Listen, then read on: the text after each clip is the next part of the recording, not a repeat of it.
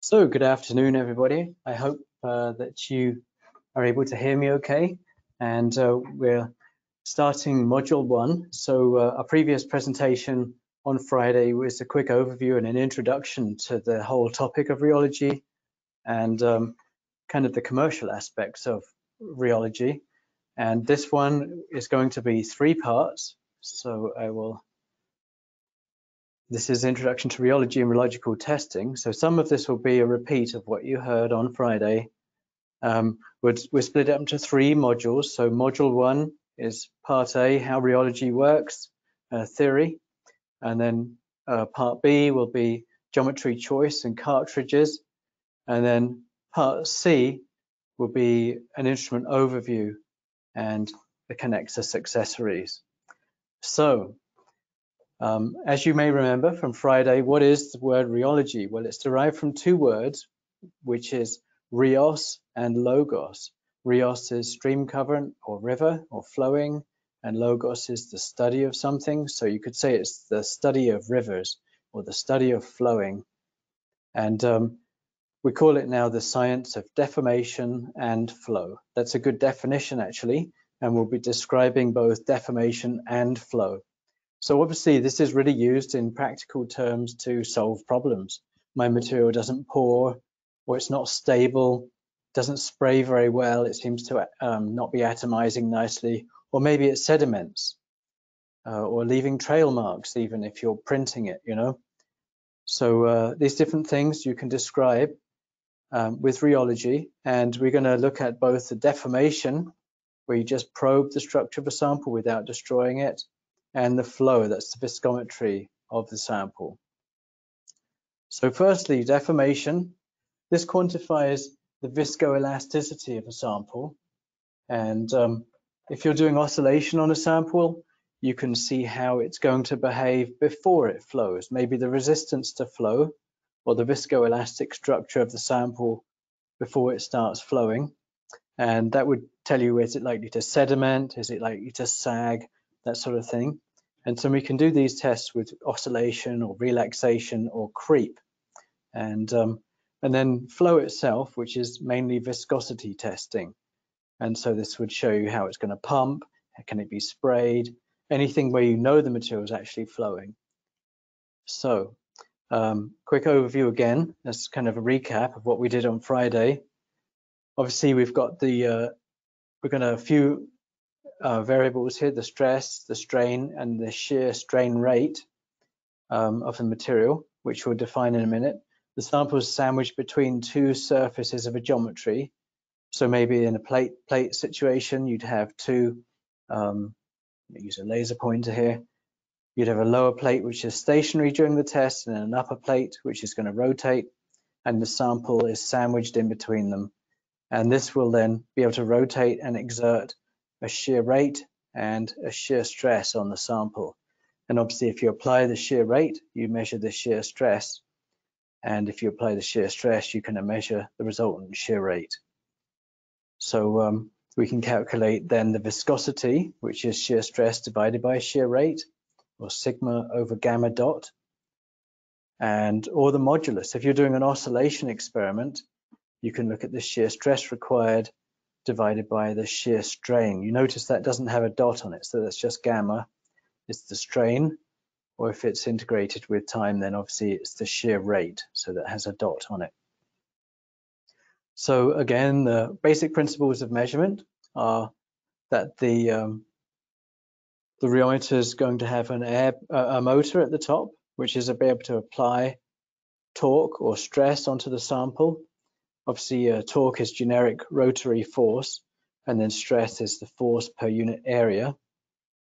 And then there's an air bearing, which is very low friction, and that allows this rotor to spin freely without much friction on it. And uh, then we're going to measure how fast it rotates with this position sensor. And um, from the shear rate and the shear stress, which was applied, we can see the viscosity of the sample. And um, obviously we have a geometry recognition system and a chuck, that's number four. And then the geometry itself, the upper one, is number five. And we're going to have to obviously set the gap and the normal force. We can measure the up and down force with strain gauges here. And then we have the temperature controller at the bottom, that's number seven, which does not move. Okay, so in viscometry, we're rotating the upper plate round and around, and hopefully the sample will flow in a laminar way. So that's like a pack of cards. So you have this uh, force on the upper plate, F, and the sample may be displaced U, and obviously it has a height, we're going to call it D in this case. So that's the gap between the plates. In oscillation, you're going to oscillate just a little bit to the right and then to the left and then to the right and to the left and then repetitively we're probing the structure but we're not destroying it. So this would be analogous to DMA where you're oscillating the sample but in this case it's just um, rotating left and right a little bit between the two plates so it could be a liquid even here. So if you take a, um, a cube of this sample if we go back to here and we we take this sample here we cut a little cube of it out, and we said, well, how is that actually moving? Then you could describe it like this. So we're applying a force across the top surface, and obviously if that surface was big, then it would be a very small stress. So the size of the area over which the force is applied is critical. So the force divided by the area gives you the shear stress. And so that's in pascals, that's the SI unit, it's pascals or newtons per square meter. And then the sample may or may not flow. So if it's a if it's a piece of rubber or something and you pull on it and it just deforms a little bit, this should be U here, um, or and it's got M here. And obviously the units are meters, um, and the height of the sample would be in meters obviously a very small number of meters, like a millimeter or something like that, but you're just displacing it and dividing it by the height, and that gives you the shear strain. And this is dimensionless because meters divided by meters cancel out. So there are no units there for strain. And um, now if the sample is a liquid, obviously, instead of just deforming and stopping, it continues to flow. And so you get a change in strain every second. So in this case, let's say the sample deformed half of its height every second. So this was one millimeter and it moves half a millimeter. Then we have a change in strain. It is, sorry, this is 0.5 divided by one. So we have a strain of 0.5. And if it be every second, this would be 0.5 divided by one second. So we have a shear strain rate of 0.5 and then we're dividing it by time. So it's a reciprocal seconds. We call it reciprocal seconds, 1 over s. So the number of strains that the sample has experienced in a second. So the strains per second is reciprocal seconds. And we have this uh, the symbol gamma dot. So d gamma by dt. So shear rate is just a good way of describing the flow behavior, but by strain. So it takes account of the gap as well. So in this module, we're going to have a quick look about the ideas of rheology, how it works, as we did, and um, and what geometries we'll be looking at next, and which cartridges. So very quick overview there of the definitions of shear stress and shear strain and how the rheometer worked. And this is going to be a lot quicker than my presentations last week. Uh, so uh, hopefully you'll be glad about that. Okay, so um, part B of module one is um, we're going to discuss the different measuring systems. So there are different types, parallel plates, cones and plates, and cups and bobs, and then obviously different cartridges as well. And so we can see um, which geometries are most appropriate. Now, obviously the most sensitive thing on the instrument, one of the most important things is which geometry you're going to use when you do a test.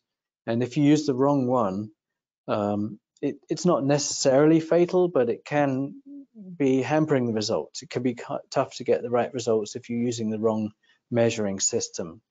So um, we're going to go through the pros and cons of each type of measuring system and hopefully give you some background information so that if you have to do rheology testing, you'll be able to advise a customer well, or you'll be able to do it with the right measuring systems. So there are quite a lot of different cones and plates. And um, generically, we say for a thicker sample, we need a smaller measuring system because we've only got a finite torque range.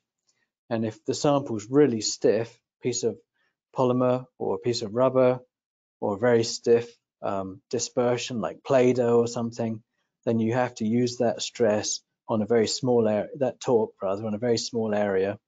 And so um, that gives us pretty high stress. So a small plate like a parallel plate 20 would work fine for Play-Doh or something like that. But if we have a low viscosity sample, like water or milk or uh, cream or something like that, well, then we'd use a larger surface area so we can spread that torque over a bigger surface. And we have here parallel plate 50 or parallel plate 60. And um, so with these different measuring systems, actually you can measure almost any type of sample. And the instruments have gotten more and more sensitive now, such that you can even measure low viscosity liquids with a small plate if you had to. But if you want to stick within the range of the instrument easily, then it's better to use a big plate for low viscosity and a small plate for high viscosity stuff. Okay, so there's lots of uh, different types. As I've said, the parallel plate, generally said to be good for oscillation because um, it, it, doesn't uh, shear the sample uniformly across the whole surface, but in oscillation, you're working within the linear viscoelastic region, so that's okay. But you have flexibility of the gap with a plate, so you can clamp any sample. Um, we, we have cones and plates, which are great for viscometry because they give you an absolute shear rate, constant shear rate across the gap. And then a cup and bob, these are good for low viscosity samples where the sample um, can really be sensed very, very well with a large surface area or if you have very volatile samples. So this will stop them evaporating if they're held in a cup. So let's look at the pros and cons of each of these. So for a simple set of flat plates, the advantages, the pros are that it's easy to clean. You just wipe it off. You can open up the gap, get a tissue, wipe the sample off, maybe squirt it with some water. So these are stainless steel plates. We don't have to be afraid of them. And the instrument's not overly delicate that we'd need to be afraid of cleaning it. So we can just wipe these plates off. Unless the sample's really glued on the upper plate, then you can wipe the upper plate as well as the lower one. And we can use a variable gap here. Now, as you remember, a narrower gap would give you a higher shear rate, right? Because it's the displacement divided by the gap. Now, if we use a very narrow gap, then we can get to very high shear rates actually. So this is great for simulating spraying and things like that. The disadvantage, obviously, of plates are that the range of shear across the surface is dependent on, on where you are in the plate. So in the center, the sample is just twisting, but at the perimeter, the sample is getting quite a lot of shearing. See, so um, you could say there's a range of shears being experienced by the sample, and it's giving you a little bit of an averaging effect across that surface. So, um, so what we do is we take the average, uh, which is at three quarters of the radius. And um, there were some guys that showed that actually if you measure at three quarters of the radius, you get more or less the right result for most tests. So, so we can be um, safely using parallel plates to know that we're getting the right result. Um, if you have evaporating samples, then they tend to form a skin at the rim here. You know, let's say you put a paint on there, and it doesn't take very long for the water to, to evaporate. You get a little skin forming, and because this is around the perimeter of the plate, it can really dominate the measurement, especially if you're looking at yield stress or something like startup stresses and things like that. So it's a good idea to uh, cover it up with a solvent trap if you're going to do that, or maybe to use a cup and bob instead. Now, um, this is what I was saying, the, the the perimeter of the plate is getting the most shear, and the center is getting just torsional testing. Basically, it's just twisting on the spot. And um, so that's a disadvantage, but we'll measure at three quarters. So if this was happening on the instrument, it would say seven and a half reciprocal seconds on the screen for shear rate.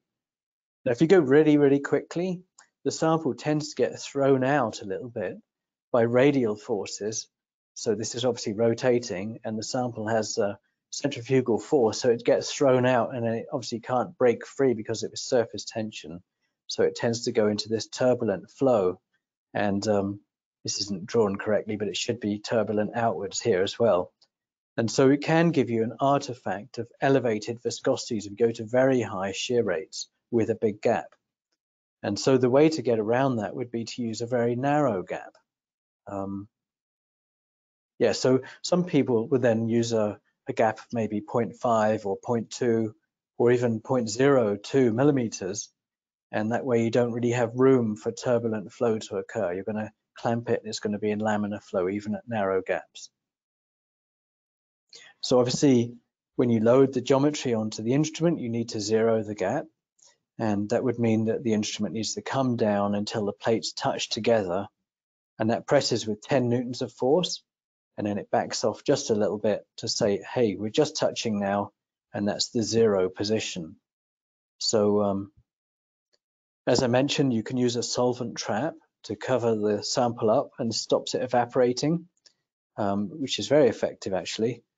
And um, we would have this abbreviated name. So as I kind of mentioned, we've got PP20 for parallel plate, or you could see CP for cone and plate. So cones and plates. Now these are similar in that they're great for wiping off. You just wipe it with a tissue and it gives you absolute viscosity results. And the narrower the cone angle, the higher the shear rate you get. So if you think about it, the narrower the cone angle here is uh, like changing up a gear on a bicycle. As you go to a half a degree cone, you're going to have twice the shear rate of a one degree cone which would have twice the shear rate of a two degree cone. So the cone angle is actually proportional to the shear rate that you get, um, obviously multiplied by the rotational speed. So um, easy to clean the plates, easy to get uh, a constant shear rate across the sample because it's a cone, and the different cone angles will give you different gearing, if you like, different shear rate ranges. This Disadvantage obviously is that the sample's got a narrow gap at the apex. Now this is exaggerated, so the, this truncation isn't nearly so big. It's usually about 1% of the area of that cone, but it does have a little flat on the top of it. And the reason for that is so that when you zero the gap and back it off, there is a gap there. It's not just touching at the center. And um, and if there was any thermal expansion, it's not going to grind metal against metal, you see. So um, better to have some gap than none at all. And um, we can get higher viscosity results with a narrower gap. Maybe um, this could handle samples a little bit better if they come out of a cone of a parallel plate. We can sometimes get away with a cone and plate. So um, as I mentioned, this gives you a constant shear rate across the sample. And um, let's see here. Yep, we have um, 10 reciprocal seconds. So normally with a plate, as the gap increases, the shear rate would decrease. But obviously with a, with a plate as well, as you go to a wider radius, you're going to get a, a wider shear rate because you're further from the center. And so these two effects actually counteract one another and we'll get a constant shear rate across the whole sample. So at the edge, let's say we're doing 10 reciprocal seconds, at half the radius, we've got half the gap. And so you still have 10, and a quarter of the radius, you have a quarter of the gap. And this truncation would be a very small area where the, where the shear rate might not be perfect, but actually the whole sample, apart from that bit in the middle, is going to give you the right shear rate depending on the rotational speed. So um, that's how cones are working. And to use this, they actually have to be zeroed, and then it would have to be in the position that it would be touching the bottom if it was there. So this is a virtual tip truncation. We cut it off, and then the gap would be opened up to the right amount after we've loaded sample, close down just to the right gap there, and trim it off, such that if there was a tip, it would just be touching.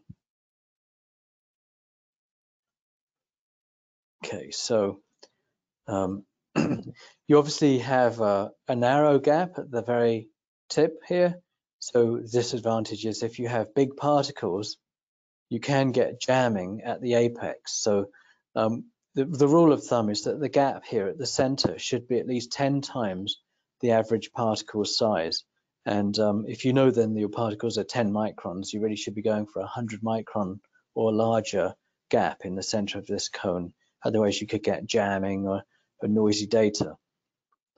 And so, um, just so that you know what the gaps usually are, it depends on the cone angle. so for a four degree cone, we have a 150 micron gap at the apex. For a two degree cone, we have a 70 micron gap at the apex. And for a one degree, we have a 30 micron cone.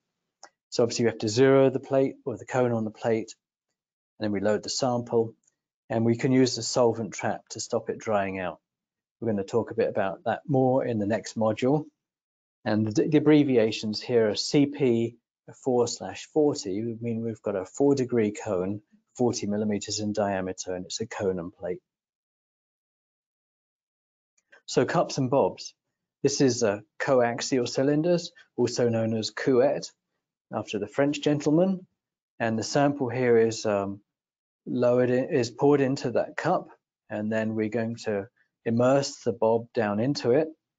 And that's going to be completely dipped into the sample like this. And we actually have a deep gap at the bottom. So the shearing at the bottom is quite small, but the amount of shear done on the sides of this bob is much larger. So most of the measurement is done on the sides of the bob, which means that zeroing the gap isn't critical here, um, not like with a plate or a cone. So there's some advantages.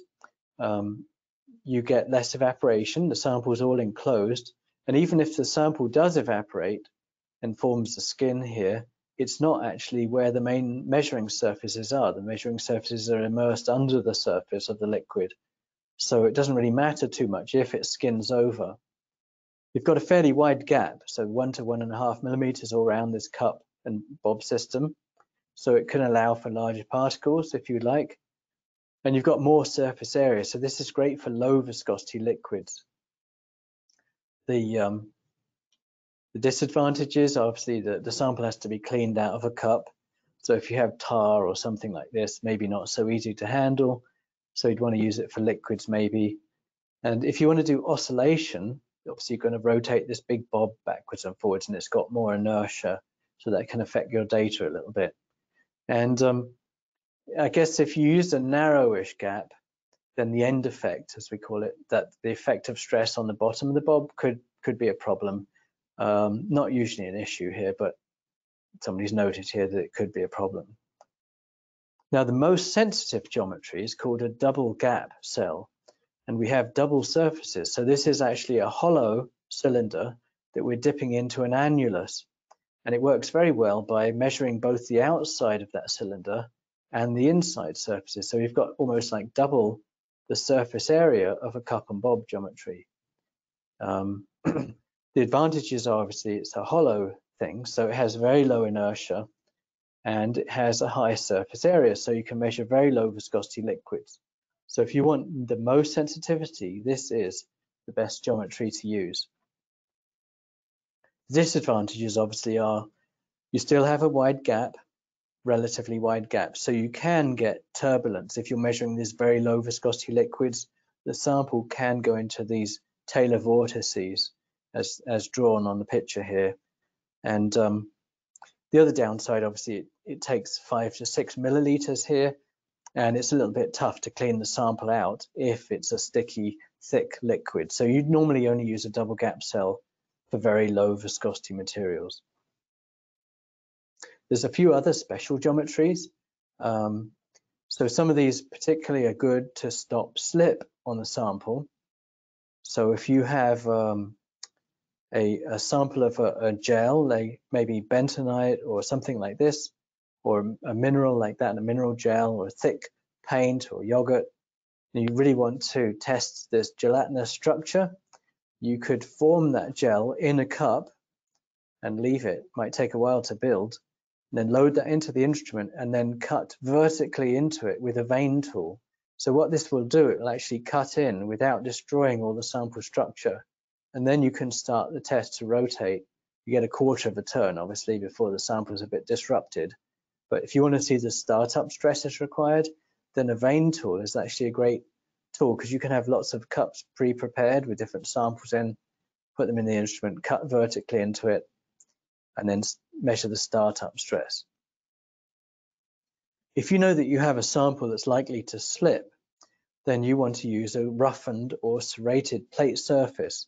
So the way to check if a plate, if the sample is going to slip would be to, to maybe get a piece of metal or a piece of glass and squirt some of the sample onto it and then tap it vertically on its side on a desk. And if that sample seems to slide down, leaving a snail trail behind it, then you could see, oh yes, it's going to slip. You can see it slipping as a lump rather than just spreading out uniformly on the geometry on, this piece of glass or piece of metal. So it's likely to do the same in the instrument. And so by using a roughened or serrated plate surface, we can grip the sample's body without allowing it to slip.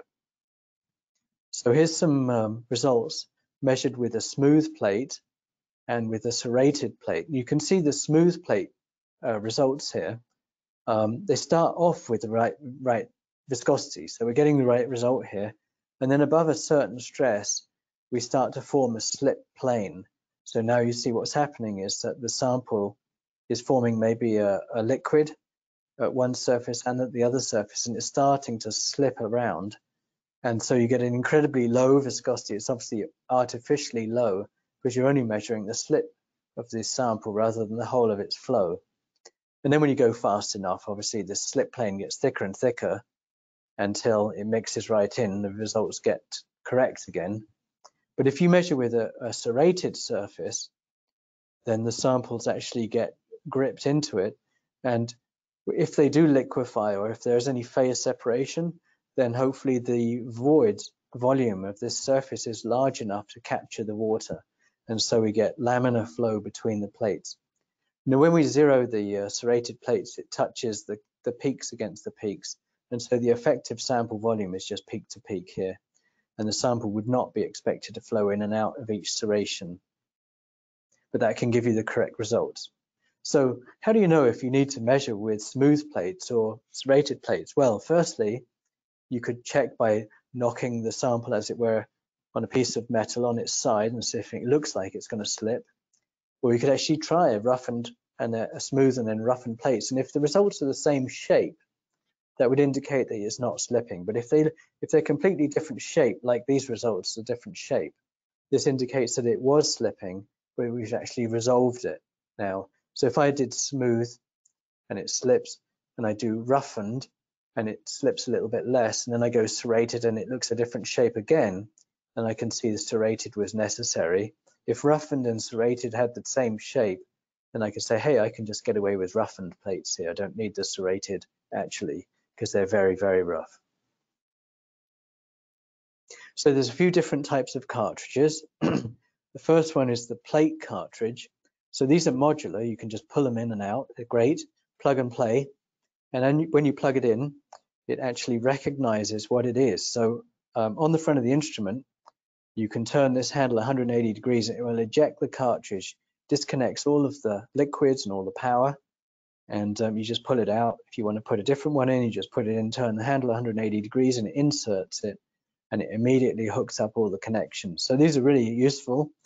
And um, if you slide this upper lock to the left, or this is the newer design, you slide this to the left, this releases the lower plate. So you can see somebody holding a lower plate if you want to switch it for a smooth one or a roughened or serrated or a different diameter or a different type of measuring system altogether, you can just switch them out like that.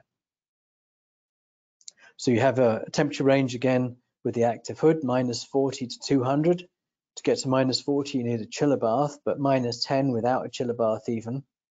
So this is the same as the uh, plate system, but obviously has a hood on the top. So this heats from the top and from the bottom, and it was a zero heat flux design. So the idea is that the geometry shaft gets heated up as well as the sample from the bottom, and then the, there's zero heat flux in and out of the sample, and it should get to great thermal equilibrium in no time.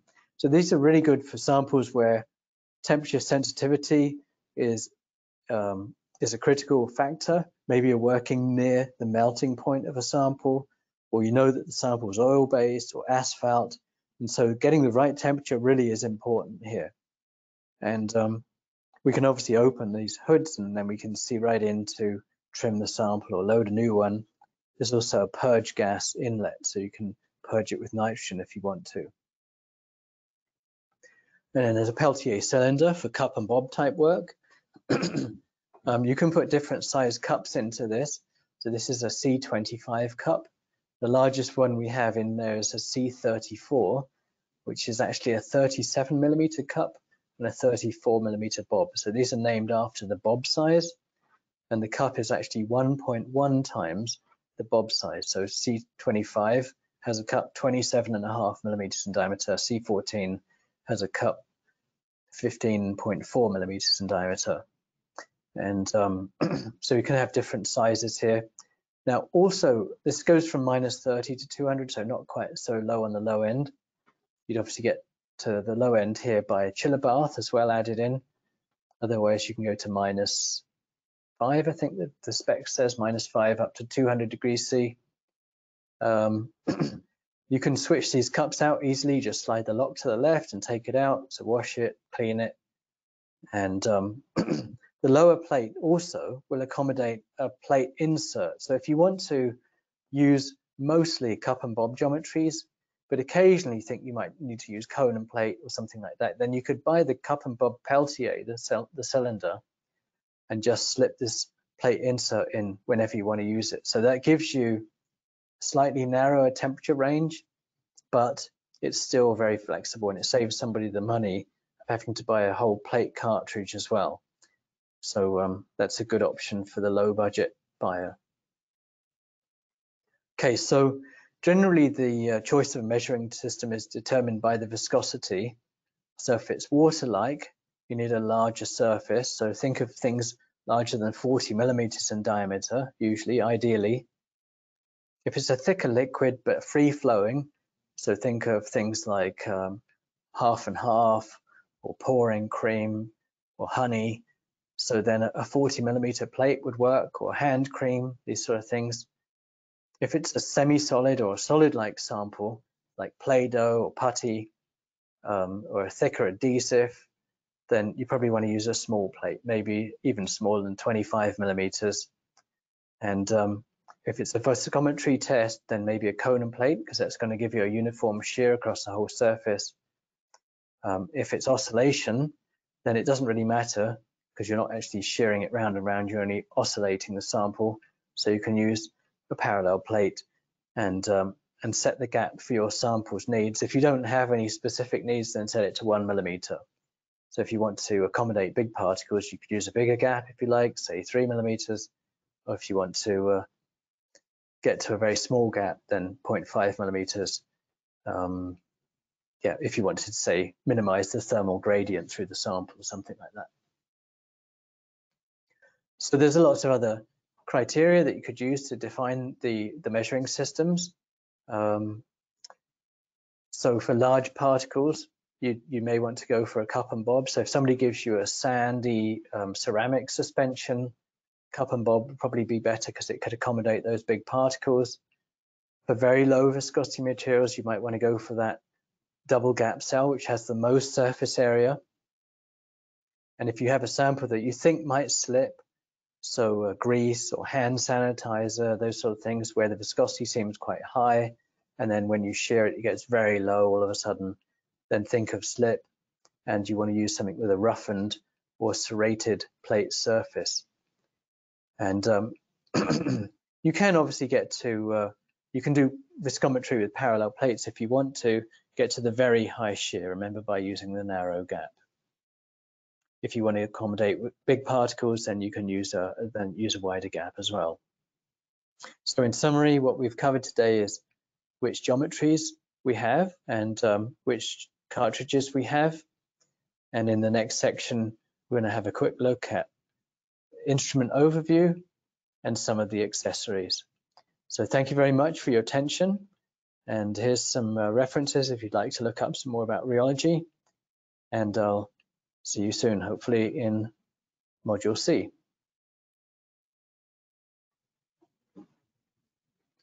So Module C, this is uh, an overview of the accessories Continuing on our introduction to rheology and rheological testing, My name's Philip Rolfe. I'm one of the specialists here in the USA.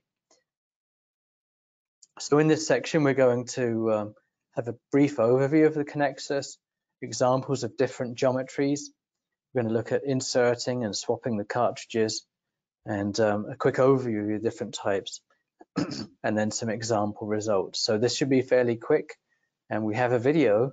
This is Shona, um, who's our marketing manager now in, in the UK office and she's going to show us some some of these accessories. Let's see this runs hopefully. So Shona's taken out the plate. She's showing in the top of the shaft there, there's an RFID.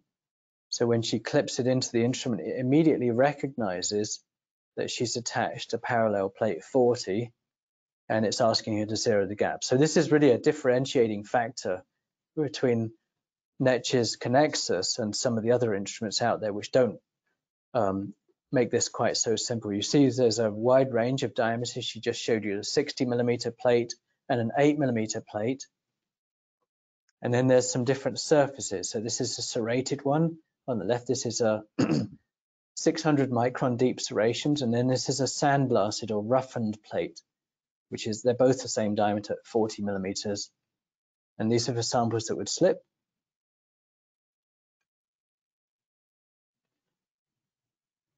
So if you want to remove that lower plate, you slide that lock to the left and you can see that it comes right off. It's got three feet to hold it down and there's a recess into that lower plate which accommodates a PT100 temperature sensor.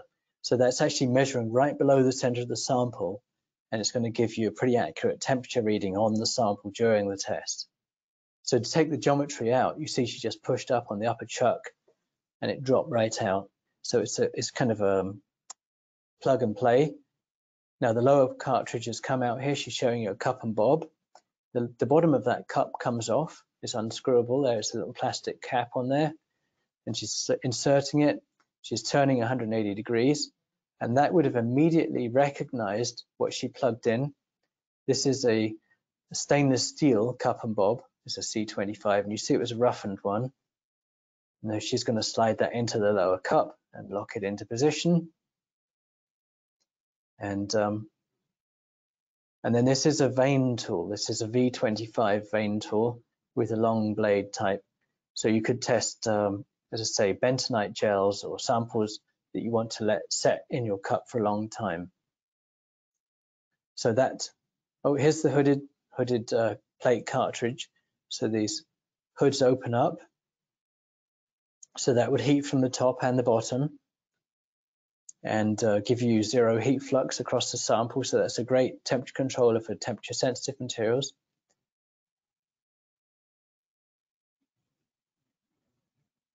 And this is our solvent trap cover. So this one is going to um, cover the sample up. So you'd actually put an annulus over the geometry. This is the reservoir ring. So you see that she's showing you that now. That's the reservoir ring and you slide that over the measuring system and you'd put some water in there or whatever you think is the most volatile solvent and attach that on the rheometer and then you'd put um, the covers over it to dip into that. And there's also a purge gas inlet on this uh, solvent trap cover, so you can use it as a purge gas system as well if you like. You'd purge the gas in through these little uh,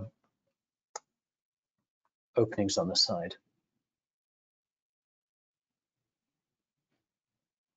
Okay, so that's a, a quick look at uh, the instrument. And some of the accessories, there's a wide range of them. We won't go through every one of them, but at a glance, you can see we have UV curing. So these are great for um, setting samples, torsional fixtures. This is for solid materials or composites even, or ceramics. You can clamp a sample top and bottom. This is our solvent trap, which we'll look at in a minute. Universal container holder, so you can clamp a beaker or even if you open it to the wider settings, you can adjust it quite well open and then you can open a gallon of paint in there, something. You've got texture analysis tools for penetration. There's a hemisphere and a couple of cones to an orbital ball, a Du Noüy ring for measuring surface tension, a bicone, which would be measuring between an oil-water interface, something two immiscible fluids, to see if there's an rheology at the interface, disposable plates are great for things that have cured. You can throw them away. They're about $5 a pair. Dispersion accessories. There's a spirally groove bob and starch paddle for mixing up powder and liquids and things. Crumb rubber kit. A Mooney Ewart cell. This has a very uniform shear across the whole surface and it only has a small volume. So that's quite good if you want to apply a known shear to a sample and then look at it in some other method. Tribology is the resistance to, to flow as in friction, frictional behavior.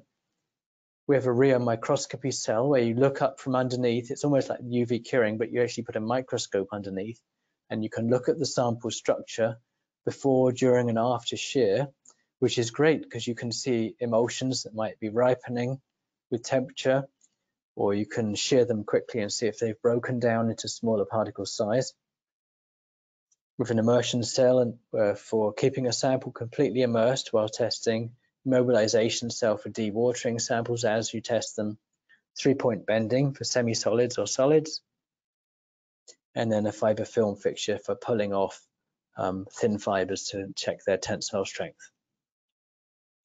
So the solvent trap, this is uh, very useful and people use this a lot. There's two different types actually, and this one's called the passive solvent trap. which is a bit bigger and it has a double frame shell here. So there's a, stainless steel insert and then there's um, a black PEEK or Delrin outer. And this is for thermal insulation. This first one here is for, for the actual solvent. It dips into the reservoir. So if your sample is volatile, you put whatever you think is going to evaporate into this reservoir, and then you put these two semicircular halves in, and this will make together and make a completely closed atmosphere here. So your sample will evaporate the first 15 or 30 seconds, but then it's going to get a saturated atmosphere and then it won't evaporate any longer. And then you should be able to make tests for hours and hours without any drying. Um, now, when you put this thing together, it's hard to know whether it's touching the reservoir. You know, you put the cap on here and it may be touching the reservoir. So we have this zeroing tool where you, you push this in and it actually reduces lowers the reservoir to the right height. So that's that's why this uh, this is a spacer tool that you push down and you take out, but that's just when you're setting it up. So you can see um, the effect of using a solvent trap. This is tomato ketchup over many hours here, 20 hours, and you can see without a solvent trap, it dries out. Anytime you see the viscosity continuing to go up and up and up for hours, that's a pretty good sign that your sample is probably drying. But if you put a solvent trap on it, actually you can see it's not drying. It's just rebuilding a little bit, but then it eventually just plateaus. So um, rebuilding from when we loaded it, because loading the sample onto the instrument maybe broke some of the structure. so the solvent trap's pretty useful. And you can use that with cups and bobs as well as with plates or cones. Now, sometimes sample degradation is a bit of an issue. And um, if you know that you're measuring polymer melts at high temperature, they can tend to oxidize. And so it's a good idea to try to purge that hood with nitrogen. So we have here um, the purge inlet. Actually, I don't know if you can see it in this picture, but um, you would you would use the uh, inlet nipples on the side of that cover to to purge with nitrogen gas. This is a needle valve and maybe you supply it with one bar of nitrogen, then you can purge it very slowly with just a trickle of nitrogen through. So you don't really want it to cool the sample down. You only want it to be a positive atmosphere so that it expels air rather than allowing moisture in. Um, this is the UV curing cell. So again, using a Peltier cylinder, we're going to take a cup out. We're going to put this plate insert in, but this plate is actually quartz. So we have two types actually, quartz or borosilicate glass. Uh, borosilicate glass being a little bit less expensive, but not having quite the same bandpass width for UV. And then we can make an oscillation test and we can see the sample initially is quite low viscosity, maybe um, an epoxy or something. And then we apply UV to it. You see the light coming on here the intensity is being recorded in blue. And then after 30 seconds, it's being turned off again. You can see the curing is immediately starting. So um, you can see three different sample thicknesses. This is the thinnest sample. Obviously, it cures most completely. And then a very thick sample obviously takes a while for the sample to, to cure, depending on how, how opaque it is. Um, so we supply the whole thing if people want, or we can supply just the um, the optics if people want to supply their own UV light source. That's an Omnicure S2000 light source. This is a torsional fixture and it also fits inside the Peltier cylinder. This Peltier cylinder is a jack of all trades. It can do lots of different things. So if you um, don't put a cup in there, but rather clamp the sample in these fixtures, there's a jig, so you can lay it out on the side, clamp the sample in there and clamp it top and bottom. You measure the open length, the thickness and the width, and then you put the cover over that the um, the outer wall of the cylinder on and screw it in and then you put the whole thing into the cylinder, clamp it in place, and then attach the top. So this comes apart at the top with a couple of Allen keys, and you attach it to the instrument. And then in the software, you need to tell it the dimensions of the sample that you put in there. But you can make a torsional measurement on really solid samples. You could test glass or, or ceramics or any solid material you like, or um, asphalt, aggregates, and things like that, uh, cores of sample roads. Um, Obviously, we can do a temperature ramp if we're slow about this. And um, as we warm it up, we could see glass transitions. So this is really analogous to DMA. We can see here the elastic modulus dropping off, the viscous modulus increasing and then dropping off. And then this is our TG, the peak of tan delta, shows you the glass transition temperature, which looks like it's about 160 degrees C in this case. This is the universal container holder. Um, so we can put a beaker on there. This is nice for uh, people that want to test a sample in its own Petri dish, maybe if they're doing longer studies, put sample straight in and out of an incubator. So you can uh, close and open this to wider gaps and clamp the sample, uh, the beaker rather, or the container. Or if you take the um, these Allen key screws out then you can actually fix the texture analysis accessories and then you could put a dog biscuit across the top or something like that and check the um, the testing of it. We've got some penetrometers here. There's a cone and a, a narrow angled cone for especially hard samples or a hemisphere for Brinell hardness. Um, so this is um, testing chocolate cookies. These are uh, Cadbury's, I think.